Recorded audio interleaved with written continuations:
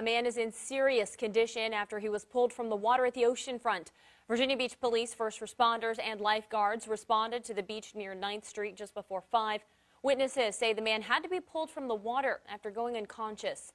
Police say there may be medical factors that led to him going unconscious. Paramedics took him to the hospital.